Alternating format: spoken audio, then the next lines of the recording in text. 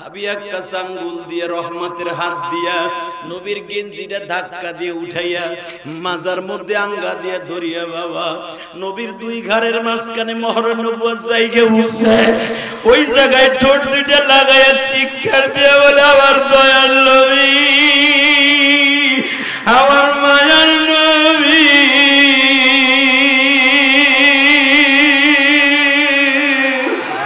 আপনি কেমনে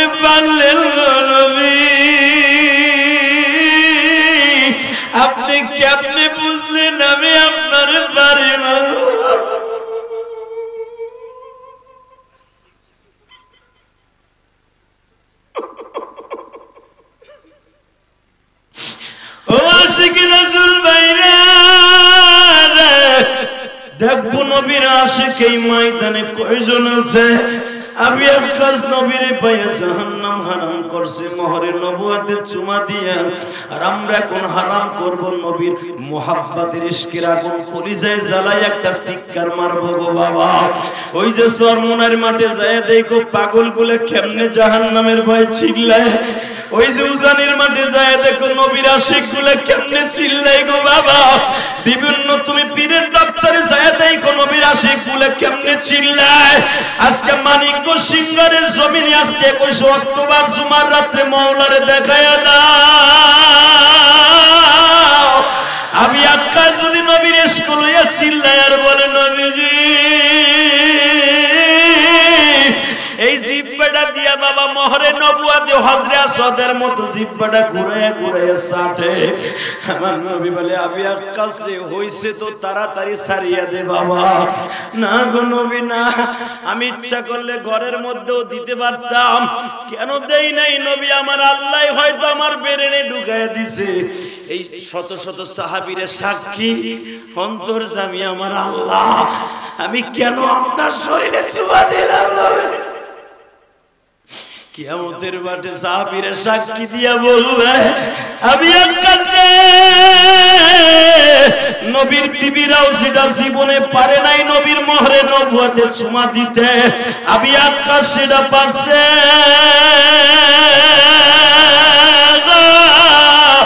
আমি একটা গরিব সাহাবী নবী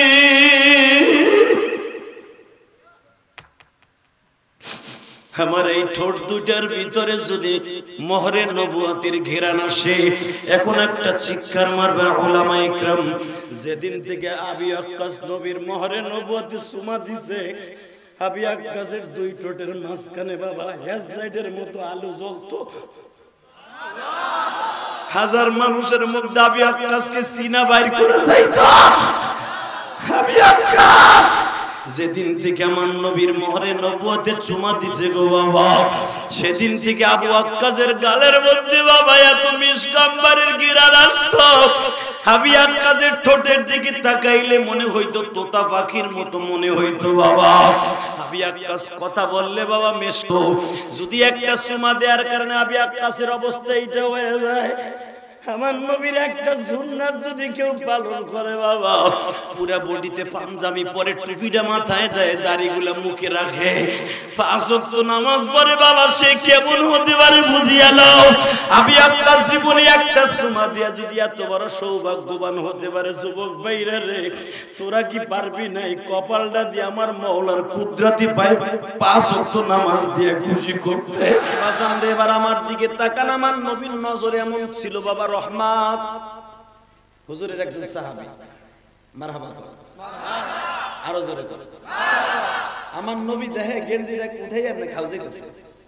এই আমার দিক তাকাই গেঞ্জিটা উঠাইয়া গরমের দিন এক সাহাবী চুলকাইতেছে লাড়ি দিয়ে।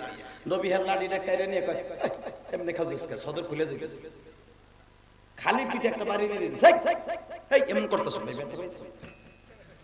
একটা বাড়ি দিছে।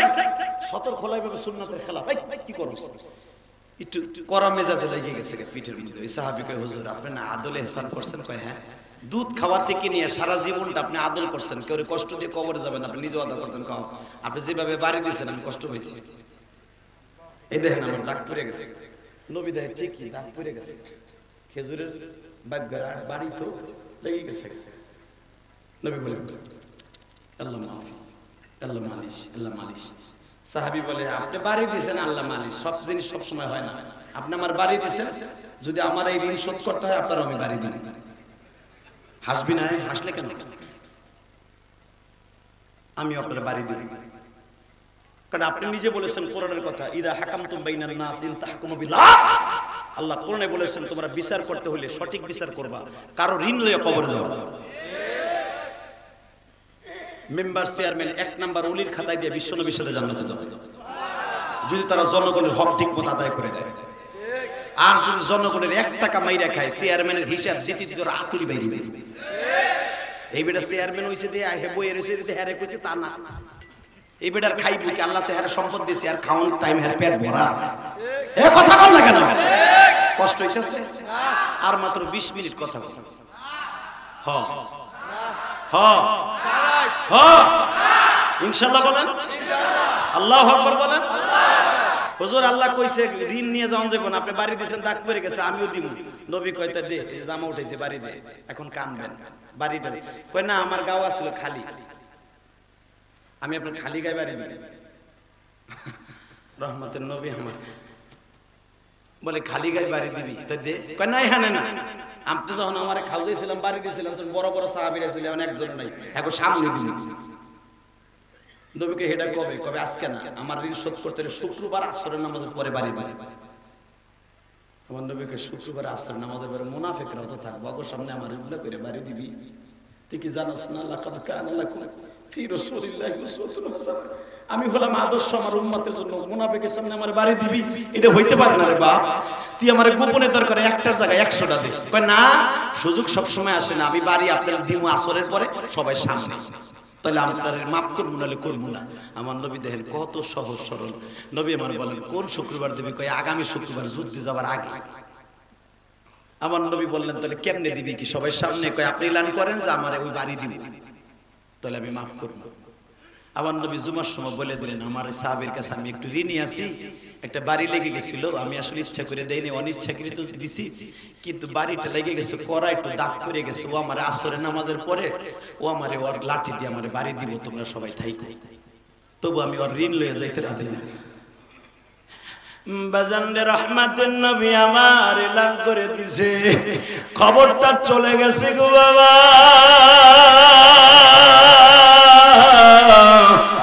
মদিনার মুনাফিকের আব্দুল্লাহ ইবনে উবাই ইবনে সুলুল পিছনে দাঁড়ায় দাঁড়ায় হাসে। এইবার নবী অপমানিত হইবা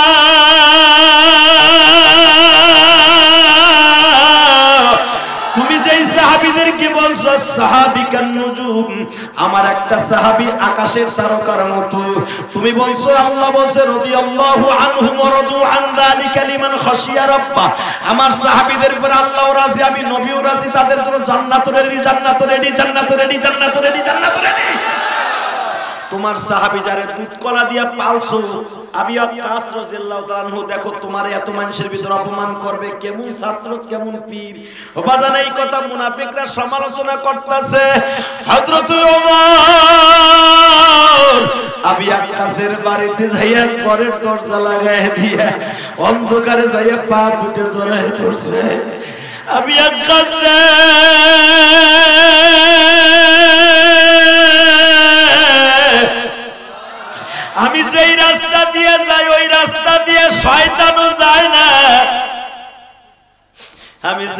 যেই মাঠে তরবারি আমার হাতে থাকলে একশো বেইমান আমার সামনে আসে না।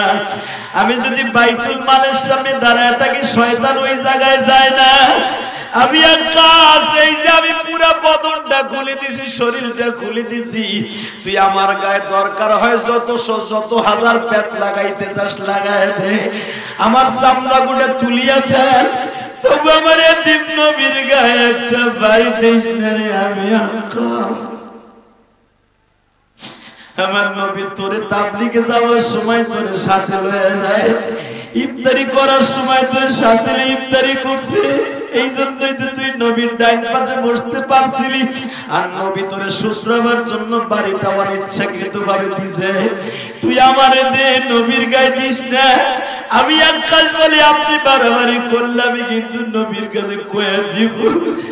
আমি এক কাজ বলে সুযোগ সবসময় আসে না, আমি পাইয়া গেছি, এই সুযোগ আর ছাড়ব না হযরত আমার মনটা কালো করে বলে মালিক তোমার নবীর মদিনার মুনাফিকদের সামনে হাসায় না।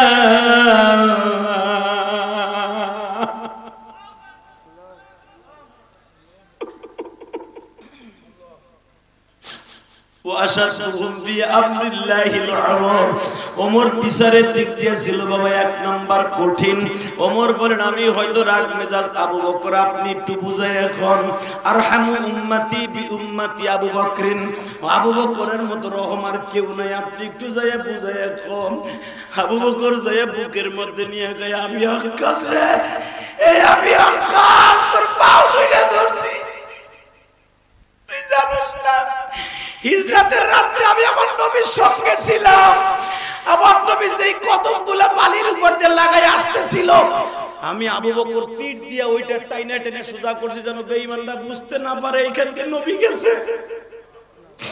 আমি পাও দিয়া হুজুরের পায়ের ছাপগুলা মিটাই নাই, আমি পিঠ দিয়ে ডইলে ডইলে মুছছি নবী আমার বলে, আবু বকর রে, পিঠ হুজুর, আপনার পায়ের চিহ্ন এমন একটা মধুময়। দুনিয়ার যে দেখবে সেই সিনে ফেলছে নবী এদিকে গেছে। এই জন্য আমি সোমবার মতো মই দিয়ে আপনার বালুর জমিনটা সমান করে দিয়েছি যেন বইম্যানরা বুঝতে না পারে। এই রাস্তা দিয়ে নবী গেছে। আমি আমার নবীর এইভাবে আমি হেফাজত করছি, ভাই। এই দেখ, আমার কোমরের মধ্যে বেঈমানদের সেই শিকলের বাড়ির আঘাত এখনও আছে। তুই আমারে এই যে রড গরম করে আছিস তুই আমার পেটের মধ্যে ঢুকাই দে। আমি আকাশ রে আমি আকাশ রে আমার নবী তায়েবের মাঠে মাইর খাইছে, দেখ। তায়েবের মাঠের ছেলেদের মাইরের দাগ এখনও আছে। আমার নবীর শরীর একবারে তুলার মতো নরম ওই শরীরের বাড়ি রে ভাই।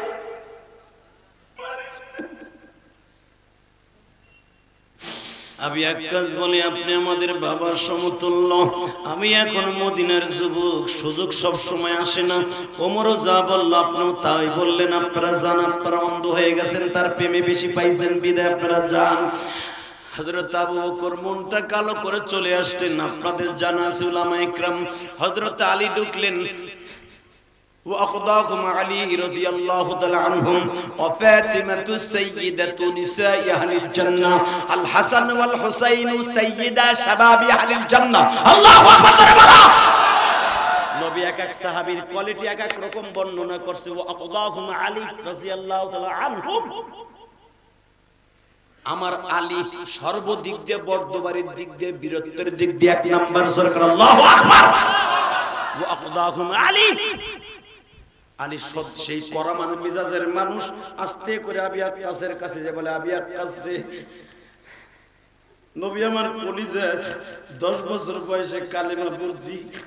জীবনে আমার নবী কারও গায়ে একটা থাপ্পড় মারে নাই। আমি এই চোখ দিয়ে দেখছি, কি দেখছ? নবী তাহাজ্জুদের নামাজ পড়তে ঢুকতেছে কাবার মধ্যে। আমার নবীর বেঈমান আবু জেহেল গলার মধ্যে চামড়ার বেল লাগাইয়া টান দিছে। নবীর গলাটা ফইলা কলা গাছের মুতুসা হয়ে গেছে। নবীর চুলগুলা টাইনা লড়াইয়া ফেলছে। নবী আমার তারপরে বড় দোয়া করে নাই রে আবি আকাশ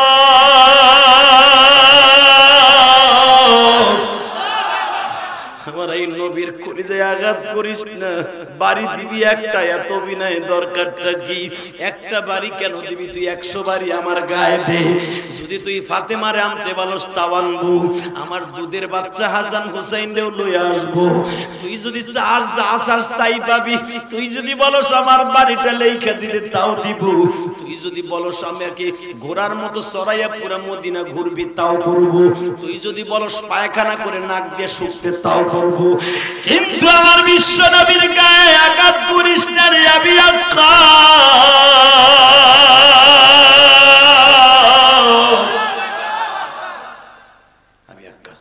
আমি আমার নবী জীবনে একটা রাত্র উম্মাত্রা রেখে পেটটা করে খায় নাই, পুরোটা রাত্র ঘুমায় নাই।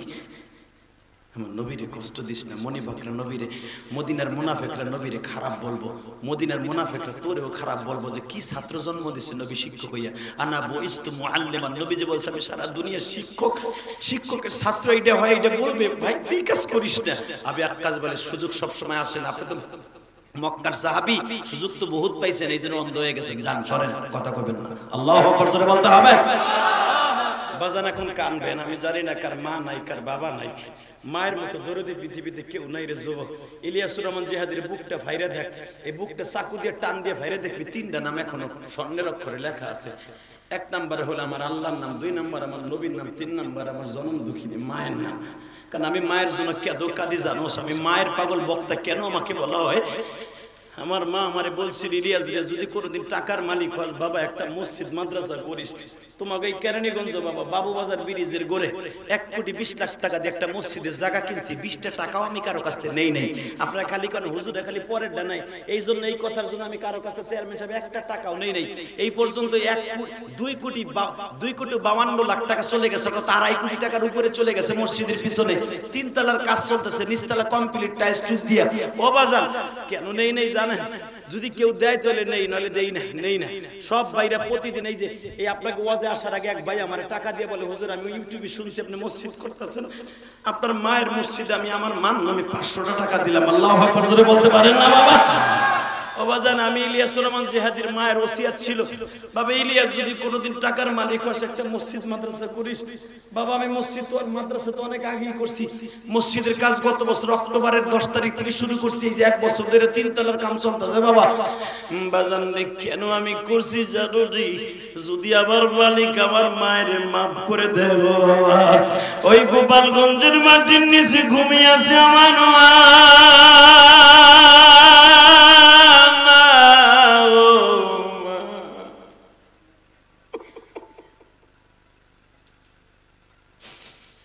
আল্লাহ হয়তো আমার তৌফিক দিছে, বাবা, বাড়ি বেইসা মসজিদ করতেছি। এই জন্য হয়তো আমি পারতাছি, বাবা, তোমার টাকা নাই, মসজিদ করতে পারো না। বাজান রে, দুই ফোঁটা চোখের পানিও কি জিহাদির সাথে ফেলতে পারো না? আমার জনম দুঃখিনী মায়ের জন্য প্রতিদিন কাম দিয়ার বলি, আল্লাহ, তুমি আমার মায়ের কবরে মাইল না মালিক।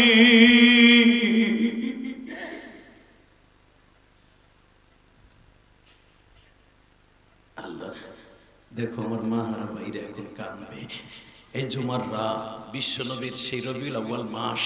আল্লাহ, আমার যারা এখন কাঁদবে, তাদের মা বাবারে তুমি কবরে কষ্ট দিবা না, আল্লাহ। আল্লাহ, আজকে একুশে অক্টোবর, আজকে একুশে অক্টোবর।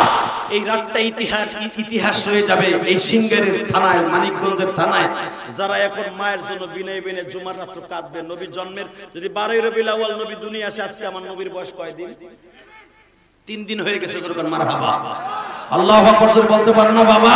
আজকে নবীর বয়স তিন দিন, শুধু আমার দিকে তাকাইয়া ফেল ফেল করে তোমার মায়ের কথা মনে করে কাঁদবা। ইলিয়াসুর রহমান, জিহাদির মায়ের জন্য না, তোমার মায়ের জন্য তুমি কাঁদবা। বাজাম রে, আবি আকাশ কেমন ভাবে বোঝানো হইল কোনো ভাবেই মানে না গো বাবা। ইন দি মিন টাইমে আবি আকাশ বললেন, আমি ঠিকই মারবো সাহাবীরা উপস্থিত, মুনাফিকরা উপস্থিত। ওমরের মতো বাহাদুর বাবা আর একদিক ফিরে চেয়ে আছে, আবু বকরের মতো বাহাদুর আর একদিক চেয়ে আছে। ইন দি মিন টাইমে আবি আক্কাস বলেন, জামাটা তুলেন। নবী আমার জামাটা তুলে দিলেন। একটু পরে বলে, আমি তো গেঞ্জিটা উঠানো ছিল, গেঞ্জিটা উঠান। যখন আবি আক্কাস গেঞ্জিটা নবীর উঠাইতে বললেন, নবী আমার মাথাটা নিচে দিয়ে বলে, আবি আক্কাস রে, তাইপের ছেলেরা যখন আমারে বড় বড় রান্দাও দিয়ে কোপ দেয় তখন আমার উলঙ্গ করতে চেয়েছিল, আমার গেঞ্জিটা খুলতে চেয়েছিল, আমার বডিটাকে তারা উলঙ্গ করতে চেয়েছিল। আল্লাহর হুকুমে পারে নাই রে, এ আবি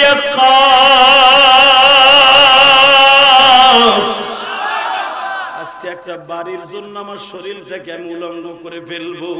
নবী আমার গেঞ্জিরে টান দিছে হাবিয়া কাসাঙ্গুল দিয়ে, রহমতের হাত দিয়া নবীর গেঞ্জিটা ধাক্কা দিয়ে উঠাইয়া মাজার মধ্যে আঙ্গা দিয়ে ধরিয়া, বাবা, নবীর দুই ঘরের মাঝখানে মহর নবুয়ার জায়গা উঠছে। ওই জায়গায় ঠোঁট দুইটা লাগাইয়া চিৎকার দিয়ে বলে, আমার দয়াল নবী, আমার মায়ার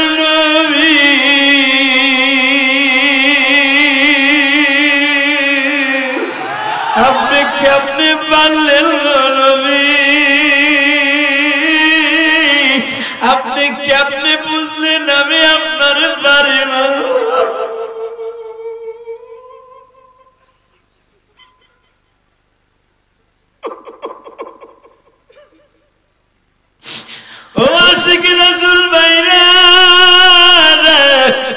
দেখব নবীর আশিক এই ময়দানে কয়জন আছে? আমি আকাশ নবীর পায়ে জাহান্নাম হারাম করছে, মোহরে নবুয়াতে চুমা দিয়া। আর আমরা এখন হারাম করব নবীর মোহাব্বতের ইশকের আগুন, কলিজায় জ্বালাই একটা শিকার মারবো গো বাবা। ওই যে সরমুনার মাঠে যায় দেখো পাগল গুলে কেমনে জাহান্নামের ভয় চিল্লায়। ওই যে উজানির মাঠে যায়, দেখো নবীর আশিকগুলো কেমনে চিল্লাই গো বাবা। বিভিন্ন তুমি পীরের দপ্তরে যায়, দেখো নবীর আশিকগুলো কেমনে চিল্লায়। আজকে মানিক সিঙ্গারের জমিনে আজকে একুশে অক্টোবর জুমার রাত্রে মৌলারে দেখায় দাও। আমি আকাশ যদি নবীর স্কুল হইয়া চিল্লাই আর বলে, নবীজি জিব্বাটা দিয়া বাবা, মহরে নবুয়াতে হজরে আসদের মতো জিব্বাটা ঘুরাইয়া ঘুরাইয়া সাটে। আমার নবী বলে আমি আকাশ হইছে তো তাড়াতাড়ি সারিয়া দে বাবা। না গো নবী, না। আমি ইচ্ছা করলে ঘরের মধ্যেও দিতে পারতাম। কেন দেই নাই নবী, আমার আল্লাহ হয়তো আমার বেরেনে ঢুকাইয়া দিছে। এই শত শত সাহাবীরের সাক্ষী, অন্তর জামি আমার আল্লাহ। আমি কেন আপনার শরীরে চুমা দিলাম নবী? কিয়ামতের মাঠে সাহাবীরা সাক্ষী দিয়া বলবে, আমি আকাশে নবীর বিবিরাও সেটা জীবনে পারে নাই, নবীর মহরে নবুয়াতে চুমা দিতে। আমি আকাশ সেটা পারছে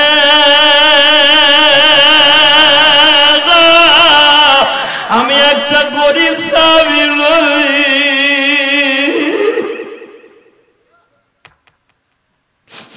আমার এই ঠোঁট দুটার ভিতরে যদি মোহরে নবুয়াতির ঘেরান আসে, এখন একটা চিৎকার মারবে ওলামা ইকরাম। যেদিন থেকে আবি আক্কাস নবীর মোহরে নবুয়াতি সুমা দিছে, আবি আক্কাসের দুই ঠোঁটের মাঝখানে বাবা হেজলাইটের মতো আলো জ্বলতো। হাজার মানুষের মুখ দাবি আক্কাসকে সিনা বাইর করে যাইতো। আবি আক্কাস! যেদিন থেকে আমার নবীর মোহরে নবুয়াতে চুমা দিছে গো বাবা, সেদিন থেকে আবু আক্কাসের গালের মধ্যে বাবা, এত মিসকাম্বারের গিরার আসতো আবি আক্কাসের ঠোঁটের দিকে তাকাইলে মনে হইতো তোতা পাখির মতো মনে হইতো বাবা। আবি আক্কাস কথা বললে বাবা মেশো যদি একটা চুমা দেওয়ার কারণে আবি আক্কাসের অবস্থা এইটা হয়ে যায়। আমার নবীর একটা সুন্নাত যদি কেউ পালন করে বাবা, পুরা বডিতে পাঞ্জাবি পরে টুপিটা মাথায় দেয়, দাড়িগুলা মুখে রাখে। পাঁচ ওয়াক্ত নামাজ পড়ে বাবা, সে কেমন হতে পারে বুঝিয়া নাও। আমি আপনার জীবনে একটা সুমা দিয়া যদি এত বড় সৌভাগ্যবান হতে পারে যুবক ভাইরা রে, তোরা কি পারবি নাই? কপালটা দিয়ে আমার মৌলার কুদরতি পাই পাঁচ ওয়াক্ত নামাজ দিয়ে খুশি করতে। তুই যদি পাঁচ নামাজ দিয়ে আমার আল্লাহরে খুশি করিস রে ভাই